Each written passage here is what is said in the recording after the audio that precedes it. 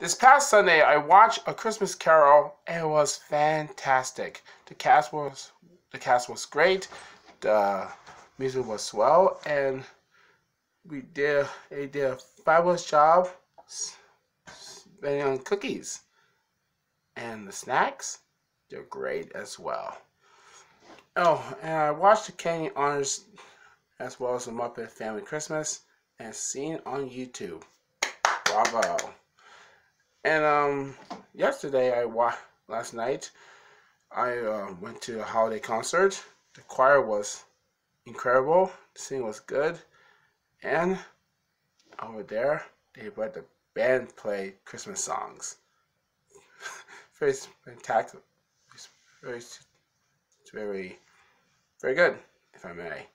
But I know what you think about going to the Christmas production of a Christmas Carol and holiday concert because the choir was was stupendous, outrageous, and fun. Let me know in the comments down below. Sing your favorite Christmas song shall be, and tomorrow I'll I'll make your make it happen. And um, on note, well, no, let's tell the secret series of death. Phil McKeown died at age of 55. Danny Aiello, actor, died at age of 86. Chris Cotton, comedian, died at the age of 32. Alan Correa died at the age of 79. James Radio Kennedy died uh, at the age of 73.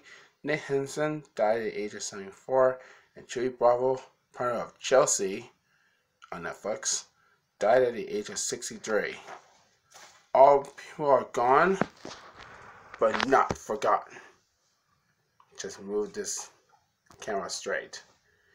Anyway, tomorrow tomorrow we'll show you the winner is the voice and see how my behavior come on good. I hope it's not a bad one.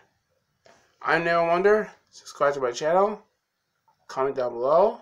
Like this video. And I'll see you there.